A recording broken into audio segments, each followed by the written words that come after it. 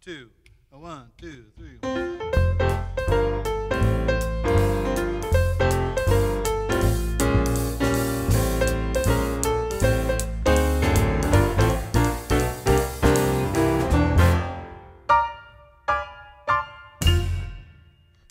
Hello and welcome to Not My House.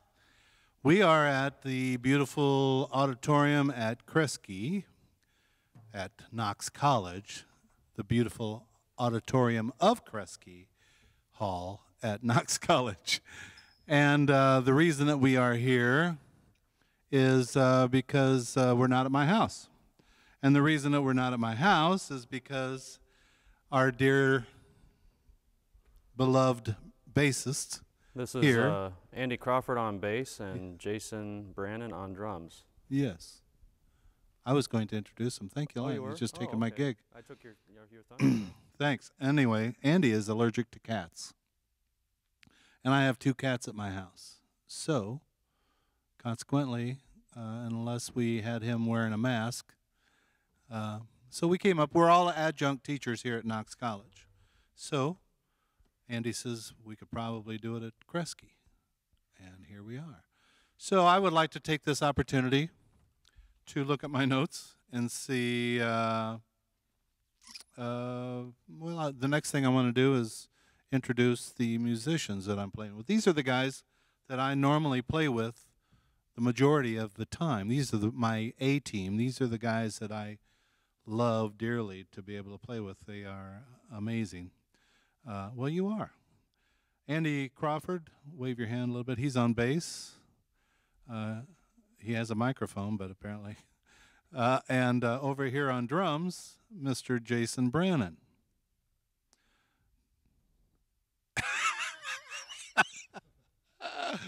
so, um, let me ask a question. Uh, a lot of people ask uh, me how I got started. What made me get into music? I've already talked about that in previous. This is our third show, by the way, of Daniel Leahy Jazz. What is it called? the Daniel. Daniel Leahy Jazz Band Show. Okay. So, um, and one of the, the things that I've been asked is uh, how did you become interested in music? And why did you choose this particular instrument to play? So let's go to Andy.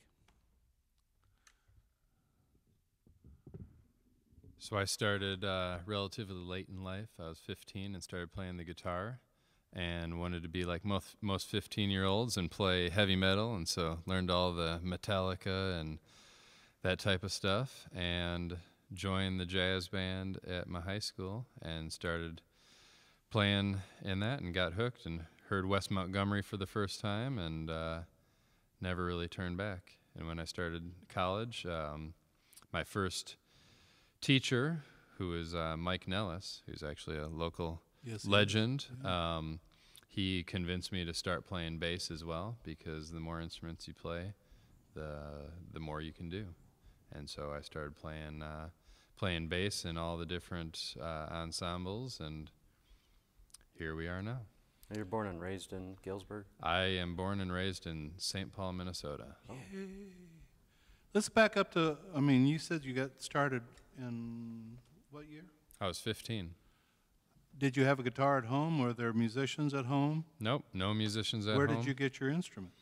I bought my instrument with uh, with my own money after I got my own got my first job. What was And s- it? What was my first job? I worked at a pharmacy, Bober Drug on Grand Avenue in St. Paul. What did you do there? I was a what was I? What do you call those people? Delivery? Um, no, I was uh, Pill counter? no, the cashier. That's what you call. Oh, okay. Yeah, so worked at the counter and uh, saved my money and bought a guitar and paid for lessons out of my own pocket at, at a local music store. And What Yeah. What did your first guitar cost you? oh, jeez, Do you remember what kind it was? yeah, it was a it was a Fender Squier, and so it probably only cost, and it was used. I bought it from a neighbor, so I think I paid seventy five dollars for it. Well spent. Yeah. Thanks, Andy. Let's go to Jason. Jason, um, how did you get started in music, And why did you choose drums? Um, I, I don't remember why I chose the drums. Uh, uh, I, I started playing the piano when I was four or five. Uh, my sister, my older sister, took lessons, and we had a piano in the house. Okay. And um, I like to play around on that. And uh, a neighbor of ours, uh, Karen Smith, um, lived across the street. She uh, she taught my sister. I, I, I gather that my um, my mom thought it was a good idea if I took lessons, so I did when I was about five or so. And then I- when I was nine, I I can't remember the circumstances, but I, um, I, I I guess I wanted to take drum lessons. I think I was attracted to the drums when I heard the radio. I'd hear songs on the radio and I'd I'd hone in on what the drummer was doing, and I was interested in that. So. Um, So it wasn't through a school band or anything? no, that was about a year before band started at school, Yeah. and I played drums in, in band, and uh, and uh, yeah, that's it. So you uh, were able to go to the music store. How did you get your drums? Uh, well, I f- first I got a practice pad um, and a pair of drumsticks, which I still have. Um, The drumsticks or the practice pad? I think I've, I think I have both. Really? Yeah. And so, and then you get a snare drum, and then um, at some point I got like a kid's three piece kit, and then you just add to it. You get a cymbal. I got a cymbal from my first teacher, who was a high school kid named Mike Sweeney in Peoria. And then um, I got a hi hat stand and hi hats, and then. Uh, and then I think when I was about in junior high, I got a, a proper drum set, I think. Mm-hmm. Do you remember, Andy, do you remember the first song that you ever learned on guitar? Um, like the first real song Yeah. was probably oh, what was it? Probably Enter Sandman by Metallica. Do you remember the first song that you played on piano or uh, drums? Um, I remember on the piano I played a song called Big Chief Indian, Oh. where you big fives in the that kind of thing. right, that kind of thing. Yeah. So out of the, out of the sort of standard, uh, you know, book they give little kids when they learn the piano. Um, I didn't start really playing jazz until maybe junior high school when I when I started playing in the I guess I was in the fifth or sixth grade. I started playing in the junior high jazz band. What type of support did you get from your family and uh, friends? Um, or did you? Well, I had um, my family was supportive. I had, I had friends who were into music. Um, my fr- my my good friends Tim Brickner and Mike Daniels were both into music. Mm-hmm. Um, Tim still plays, of course, Oh, yeah, wonderful player. And um, yeah, my parents they were always supportive and, and encouraged me. I went I went to a music school for college, which uh, you know Where? they didn't have to Where didn't did have you to go? let that happen. Say Where, again? well, what was the name of the music school that you went I went to the Berklee uh, College of Music Oh, in Boston, Massachusetts. did that just start up, or has that been around for a while? Uh, I think it started in, like in the late 40s after the war. Oh, okay. It's pretty famous, Dan. Yeah. Um, well, when you, um, what was some of the first uh, things that you liked to play when you got into being able to play a little bit more? I, I'd like to get together and play a tune because I'm tired of this talking part. I'd like to do a little music. What would you like to play? We had a request for an Afro-Cuban tune.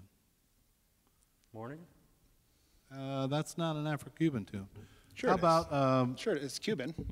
Mambo? How do you say that? Influenciado.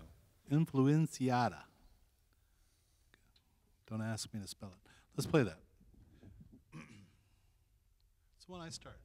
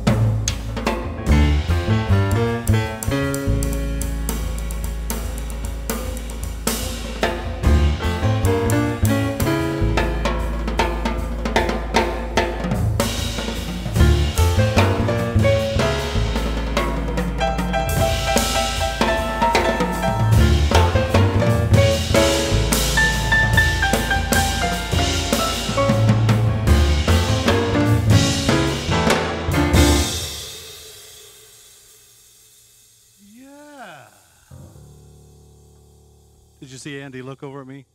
Because I didn't play the last hit. things like that happen. Are we still recording? Yeah, we're still recording. Oh. Well, so how did you feel during that song? How'd you feel you played? Good? Okay.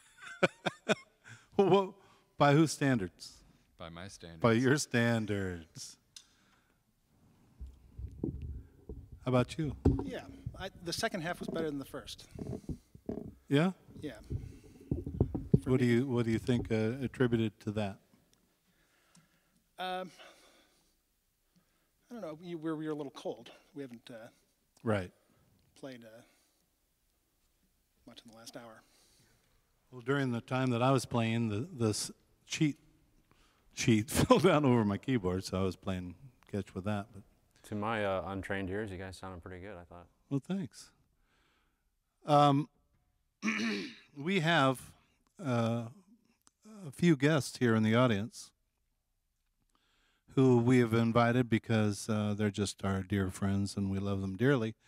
Um, and uh, I would like to, because I don't have any questions right at the moment, I would like to ask uh, you if you have any questions. My favorite artist? Good question, Pete. Do we have a favorite artist? Let's go with you, Jason. Who's your favorite artist? That, Um, on on drums or uh, anything? On drums? Oh, um, be hard to pick one. Uh, Philly Joe Jones, oh boy, uh, Elvin Jones. you said one. Oh, just one. if I to, if I had to choose one, I'd say Philly Joe Jones, who played with Miles Davis in the uh, mid '50s, and other people.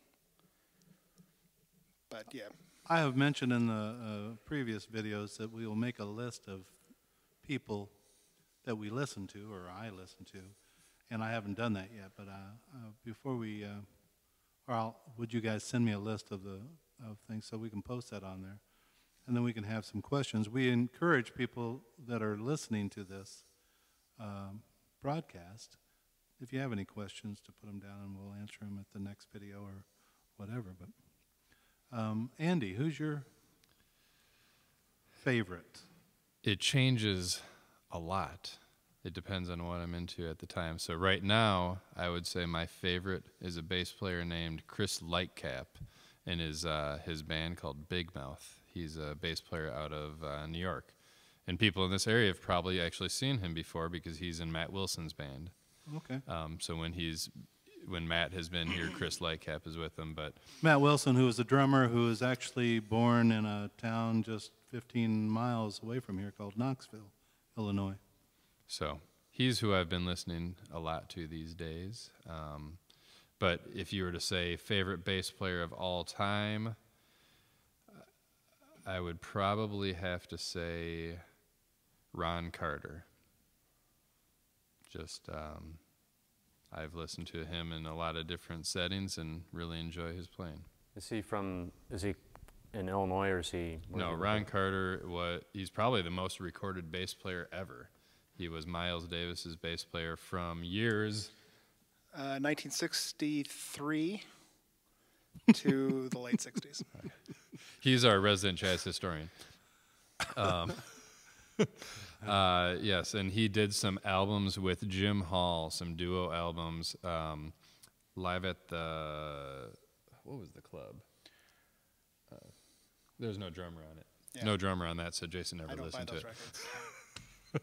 But it was just a duo, guitar and bass, and wonderful albums. Ron Carter and Jim Hall called "Alone Together." There was a bassist, a young boy here who's a man now, and by the name of John Tate, who's from Galesburg, Illinois, here, who got a scholarship to go out to Juilliard. And he was able to study with Ron. Is he still out there? Who? John? John. Yeah, John's still out there. Yeah, he stayed with Ron for two years. Is he still with um, Juilliard? I mean, he no, was. John graduated or finished that program two years ago. About But wasn't he doing some promotion for their college as well? yeah, that was part of the Oh, that's- the program. So anyway, mine, uh, I would say hands down is Oscar Peterson. Uh, I have a lot of other pianists that I love to listen to and and try to um, uh, absorb some of their uh, personalities, musical personalities. But Oscar Peterson, there's a great video of him and uh, Dick Cavett. Oscar's passed. I don't know if Dick Cavett has passed, but there was a show, and you can find it on YouTube, where Oscar sits down and he plays like Nat Cole. He plays like, well, I can't think of all the, the players right now, but he, he can do all of them. So great question, Pete. Any, any more questions?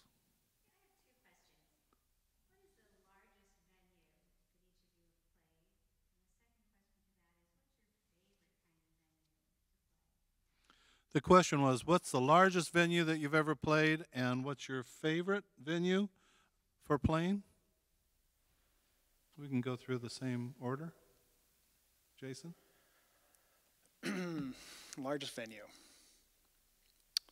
I, I, I guess I played the Peoria Civic Center a couple of times. By per capita of people that were in the audience, is that what you're looking for? Like,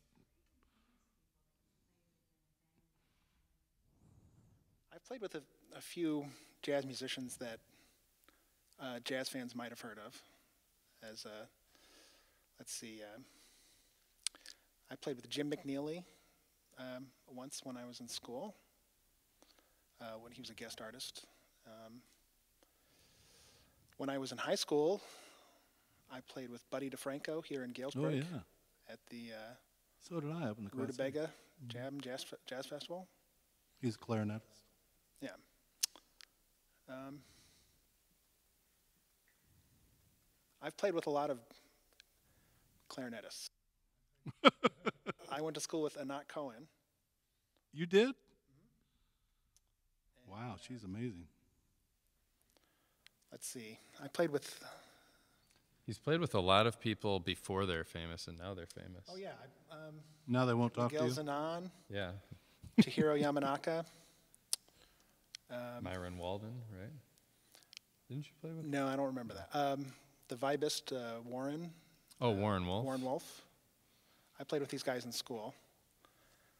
Um, yeah. Cool, Andy. Let's see. I've played the Peoria Civic Center a few times as well. And that's that's relatively big. To the Um, viewers that aren't familiar with it- this area, it's about what 20,000 people in the arena, or did you play? Oh this- no, no, the The theater? the, theater, which is like two thousand. 2,000. Okay. Um, I don't know. Probably the most people I've played in front of was the Taste of Chicago, and I don't even know how many people were there. Lots of people. Um, and let's see, I played with Benny Green. That was probably the greatest thing ever. Um, and I played with Joey DiFrancesco uh, Organist. and Tony Benny Monaco. piano. Um, who else? Played with Mark Elf, fine guitar player. Um, yeah, and I'm sure there's others. I just can't think of them. Mine, I've played. I've played all over the world. I've done TV and inter, inter uh, international TV. I've um, so I don't know if that would be considered a large audience. Um, I played for 2,000 people, 2,500 people.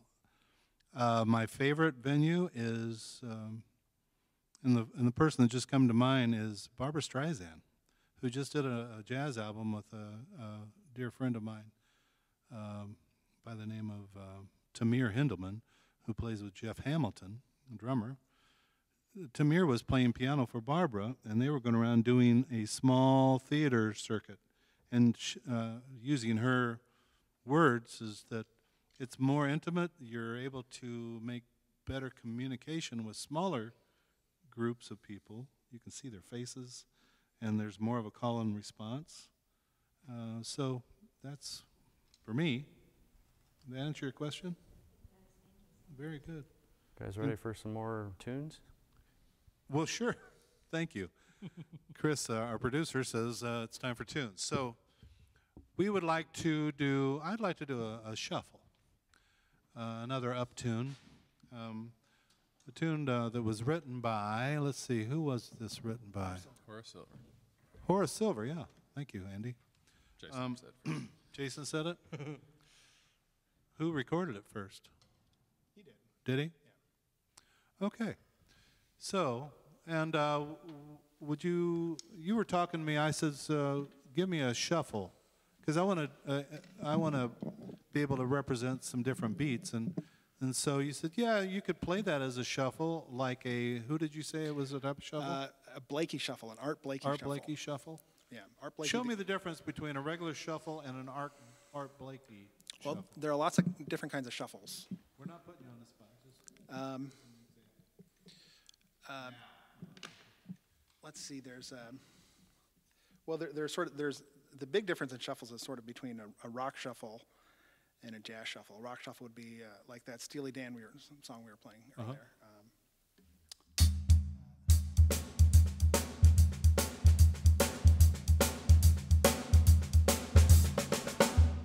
that's a rock shuffle. that's like a rock shuffle. Are you getting that on the, on video, Chris? Uh, For all the drummers? All right. Um, and then you could have like a you could have a really slow, like a 12/8 shuffle, like on a slow song or a slow blues. That's a kind of shuffle. Um, then a jazz shuffle.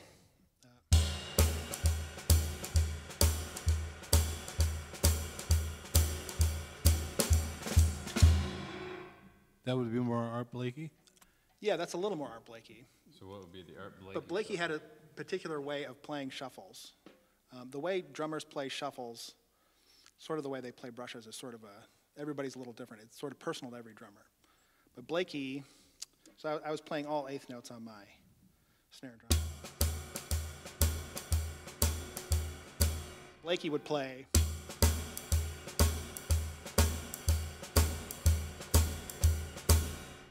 Um, not really doing it justice, but you know,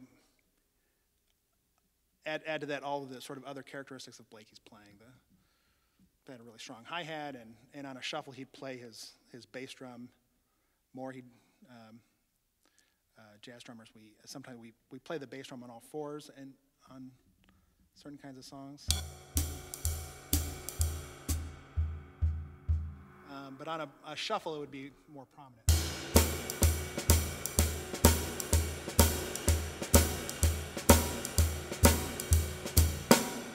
So how would you speed that up to play the tempo that we're going to do Sister Sadie? Um, and go ahead and count off the tune, and we'll start the Okay. tune. So there's a hit on one, right? One, two,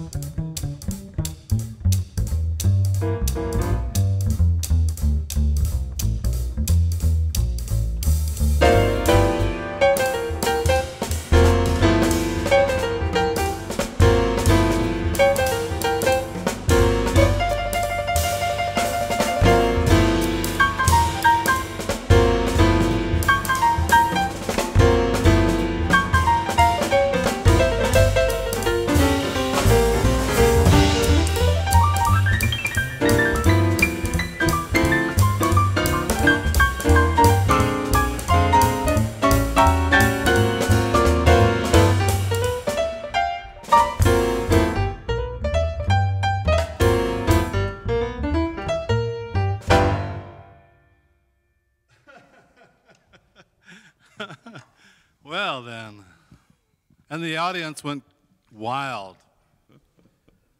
That was about a perfectly timed ending if I've ever heard one. Well, that's the way we planned it. Yeah. All the other stuff in the middle wasn't necessarily planned, but These guys have been playing for so long, they, they play pretty tight together. yeah, Chris. That's why I love playing with these guys. No matter where I go, they are there, and sometimes it's in the brushes and the weeds, but we get out of it pretty much all the time.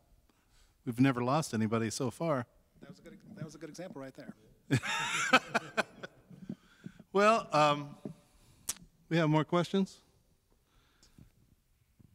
You had mentioned that you had mentors early in your careers as you started.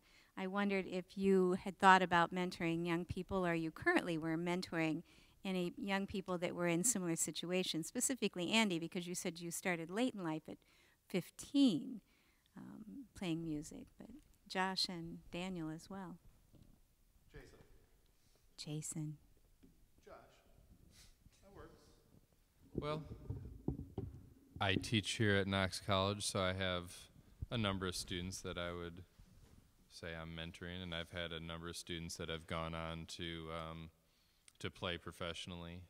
That uh, I'm proud of what they've what they've been able to do, and you know, the fact that I was a part of that journey for them. So yes, there are. Regarding our mentoring um, involvement, all three of us are doing that, not only here at Knox College. Andy has a lot more students, and, and so does Jason, have a lot more students than I do, but they, they will call me in, and uh, we will all, like if Jason has a drumming student, we will, Andy and I come and we play with them so that they can get used to playing with uh, more seasoned players, and vice versa with bass and guitar, Andy's students. I am also doing, uh, as far as mentoring, we go into the schools every year. I've been doing that for the last 14 years with the intent to give students more options to choose from because most of, uh, heck, most of the public uh, uh, thinking people only know uh, what the mainstream media presents as the only options that are available. But there's so much more available, and jazz being uh, uh, a American, a United States based uh, music. Well, it is. It's uh, people call it the uh, America's classical music. And uh, so, along with um, our mentoring, that's what these videos are all about. And I want to introduce maybe let's do a ballad. We've done two songs. We've done a, a, a mambo influenciado uh, as a Afro-Cuban. We've done a shuffle by Sister Sadie. Let's do a tune uh, written by. Oh, come on, Dan. It is Duke Ellington. Thank you very much. And uh, a tune entitled Prelude to a Kiss.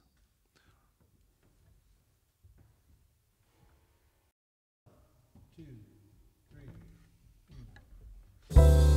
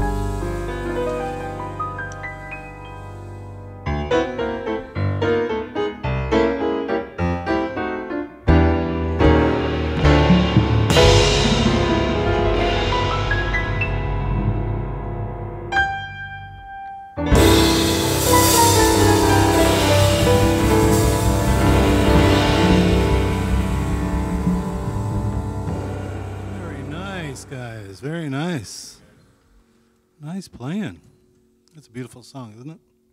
Speak up to your mics. Um, So, I asked you a question earlier. How do you attack uh, your instrument differently with a um, uh, doing a ballad than you do with um, an up-tempo song? Anything come to your mind yet? You can say no if you don't have anything. That's okay. Well, a ballad is such a different animal from most of the other kinds of uh, songs we do. and we don't play them as, as much, so. Do you feel more expressive in a ballad than you do um, uh, keeping time of a up-tempo tune? You have a little bit more time to think about colorations and things like that. I do. Uh, no, I find that uh, I, I'm concentrating harder during ballads to Yeah, uh, yeah. keep the. Um, there's more. There's more space for things to go wrong. so I'm trying to um, That's our Jason. time as straight as I can Yeah, and try try to keep us all on the same page. yeah. You do a great job of it, by the way. And on ballads, I'm mostly just copying uh, Elvin Jones, the way he played ballads with Coltrane. Uh-huh. Are you able to hear him well speaking uh, to the side of that mic like that? Andy, do you have anything? Yeah, I think during ballads, they're a little bit more fluid, meaning uh, time and ideas and communication flow a little bit, and they- they're not as strict. Whereas if we're playing an up-tempo song, at least for Jason and I, our roles in the band, we really just think about, okay, we're gonna you know, swing it and, you know, put it right where it's at. Um, and also, you know, things are moving along so fast that if a wrong note can be played and it goes by so fast that it's not really noticed, but during a ballad, everything has to really be right because there is so, you know, there's so much space and so much time that each note is being played and, um, and really you're thinking more about the, the tone of your instrument and the the color of of every note that you're playing, um, rather than necessarily the the swing feel that you're you're doing on an up tempo song. Um, and Jason said he channels Elvin Jones. I channel Charlie Haden when I play ballads, because I I feel like he was the most uh, beautiful ballad bass player. Yeah. You guys using these metaphysical terms like channeling. I, the word that you used as far as right, uh, I, the thing that popped into my metaphysical mind was appropriate. Uh, you know, because Well, when we why I get, said I know, I know, I know, I, I know how you think, and and you're doing wonderful. Um, we are. Let's do a tune by George Gershwin, shall we? Uh, Sure. they can't take that away from me. One,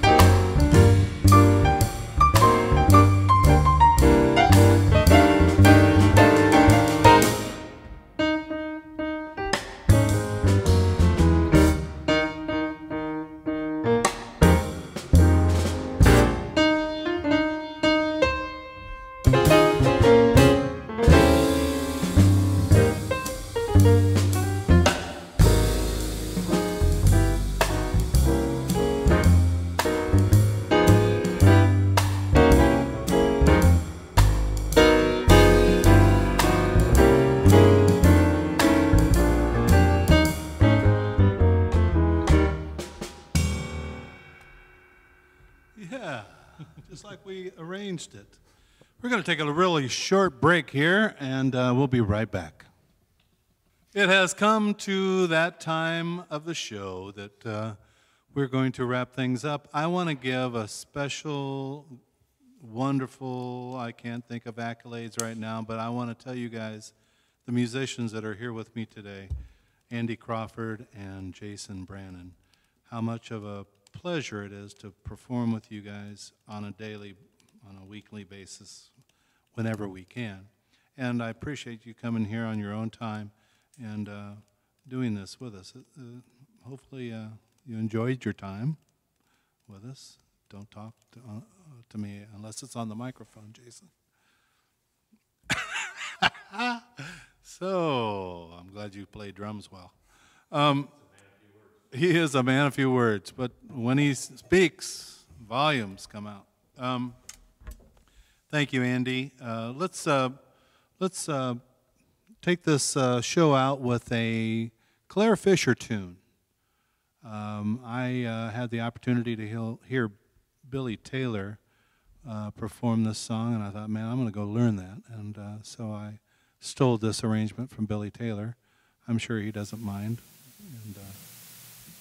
Because he can steal all my really arrangements if he wants. Is that how that works? That's how that works. Uh, yeah, if you give, if you take a little, you got to give a little. So, and uh, would you call this a cha-cha, Jason? Yes, this is our, our second cha-cha of the evening. Of the evening, what was the other one? The uh, Mambo Influenciado. Oh, really? That was a mambo. Jason just played a cha-cha. Oh. Yes. You have more to say? No, I do not. Well, we're going to go out with this, and thank you very much, ladies and gentlemen, for being here and putting up with our foolishness. But we had a, I had a great time. So I'm going to start this tune. Let's see what keys that start in.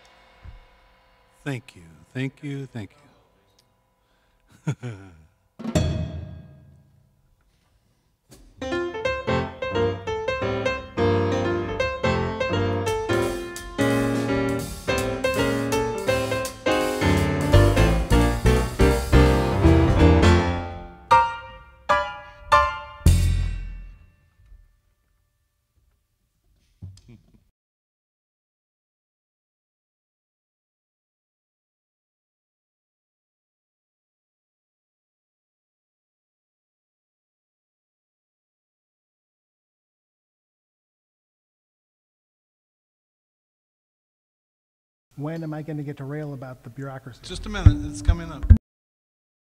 We're going to take a really short break here, and uh, we'll be right back.